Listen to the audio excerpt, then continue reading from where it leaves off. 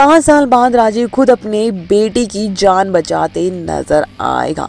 कहानी में जल्द ही शो में लीप की स्टोरी देखने को मिलने वाली है, जिसकी काफ़ी डिमांड हो चुकी है। राजीव और कुहू के बीच में प्यार होकर भी प्यार नहीं है और राजीव को समझ नहीं आ रहा है कि वो कुहू से प्यार करता भी है या नहीं। लेकिन शो में जब है कुहू को सच्चाई पता चलेगी कि राजीव उससे सच में प्यार नहीं करता है, वो सिर्फ़ वो सिर्फ़ उससे हमदर्दी है। और वो कहीं ना कहीं अपने आप को बहुत समझ बैठेगी और घर छोड़कर चली जाएगी। और कहानी में आएगा वो मोड़ जहाँ पर पाँच साल की लीप दिखाई जाने वाली है।